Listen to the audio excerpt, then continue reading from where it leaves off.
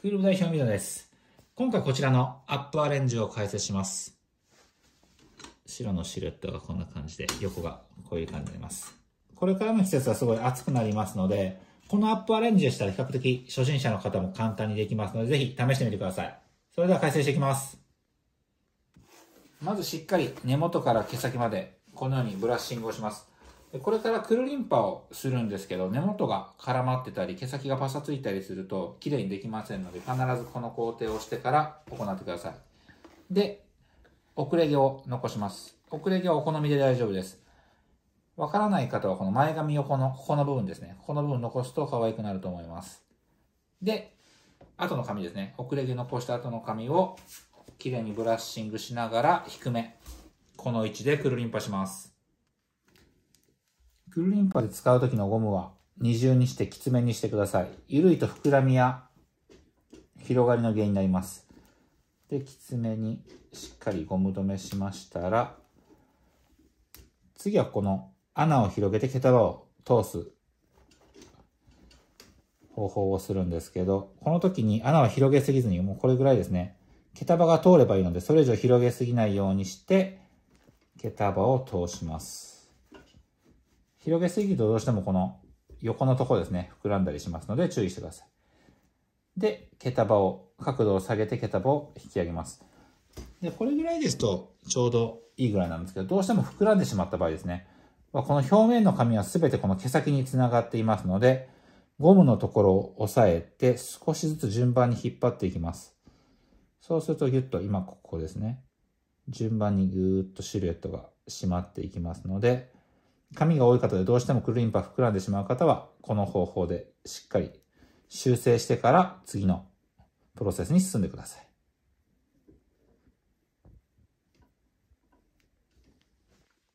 次にこのねじれのところとこの表面をほぐしていきます。あまりほぐしすぎてもバランスが取りづらいので、少し立体感をつける、束感をつけるぐらいな感じで大丈夫です。でこうですね。で、後頭部のところは一番ボリューム出てもいいので、一番ボリュームを出しまして、で、すぐ横引き出すとシルエットが大きくなりますので、少し1センチぐらい間隔を空けながら進んでいきます。で、このブラッシングのこの丸みに沿ってほぐすのがポイントですので、これをこっちに向けて引っ張るんじゃなくて、しっかり毛束を見ながら毛束をほぐすことが大切です。逆側も同じく頭の丸みに沿って毛束を引き出します。で、横は真横にすると膨らみますので、少し斜め前に向かって引き出します。こういうような感じで手串が入ったようなイメージですね。このようにすると、しっかり頭が小さく、シルエットが小さく見えるので、試してみてください。続きまして、この毛先。を三つ編みしていきます。で、大体均等に3つに割りまして、三つ編みします。でこの時ポイントが、しっかり横に力を入れながらきつめに三つ編みしてください。緩いと可愛くありませんので、しっかりきつめに三つ編みして、この途中でほぐしを入れておきます。両方ですね。左右からほぐしを入れます。で、この裏ですね。裏とかもしっかりほぐしておくと可愛いので、すべて編む前にこの裏とかも毛束を引き出しておきます。で、続きですね。三つ編みの特性上しっかりロックされるので、最初に途中でほぐしておかないと硬くなりますので、最後まで編む前にほぐしておいてください。ですね。である程度このようにきつめに編んでざっくり大きくほぐします。で、毛先にゴムを留めます。結構、そぎとかレイヤーが入ってる方ですね。段が入ってる方がこのように出るんですけど、これ後から巻いたりピンで隠せますので、そのまま続けていただいて大丈夫です。次にこの三つ編みをくるりんぱの穴に通します。この時もくるりんぱの穴はあんまり広げすぎずにしてください。そうするとしっかりこのように止まってシニオンが完成します。でこのシニョン、ある程度固定してるんですけど、心配なのでピンで留めていきます。で、この根元付近と三つ編みを通すようにピンで留めます。これしっかり留めることが大切なポイントですので、ピンを何本使っても大丈夫ですので留めてください。ここは難しいピン止めじゃないので、初心者の方でも簡単にできると思います。で次にこの毛先ですね。毛先も内側にぐっと入れ込んで、ピンで留めます。これも毛先が見えなかったらいいので、そんなに難しく考えすぎずにピンで留めて隠してください。ここも1本じゃ不安な場合は、2本ぐらい刺してしっかり留めてください。ね、止まりました。こんな感じになります。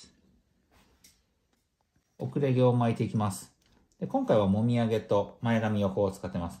で、ここで可愛くなる立体感が出るポイントなんですけど、遅れ毛いっぺんに巻かずに、このように2、3箇所ぐらいに分けて巻くと柔らかい質感になります。それと巻いた後にすぐにほぐします。こう指で裂く感じですね。そうすると、このように緩い質感になります。逆にしっかりつけたい場合は冷めるまで待ってスプレーなどをしてください。奥れ毛は少し緩巻きの方が似合わせやすいので僕は好みというか好きなんで遅れ毛は緩く巻いてすぐにほぐすようにお客様には伝えています。この中ですね、自然な少しカールがついて揺れている感じですね。これぐらいの遅れ毛が理想だと思います。バレッタをつけていきます。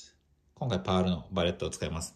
で、バレッタは、かます紙が少ないとどうしても緩んでしまいますので、しっかり根元から紙を多くかますのがポイントです。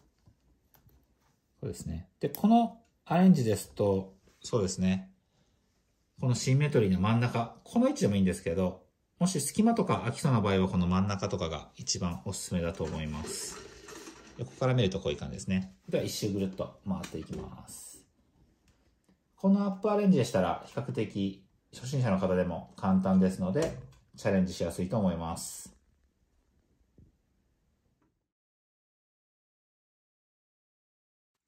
今回以上になります。このアップアレンジ、ピン止めはすごい簡単に、すごい止まりやすいと思うので、一番大切なのは最初のクルリンパですね。それを極力ブラッシングしてタイトにして、ゴム止めもきつめにして、シルエットを小さくしてクルリンパーに成功すると、このアップアレンジ簡単にできますので、ぜひチャレンジしてみてください。今回もありがとうございました。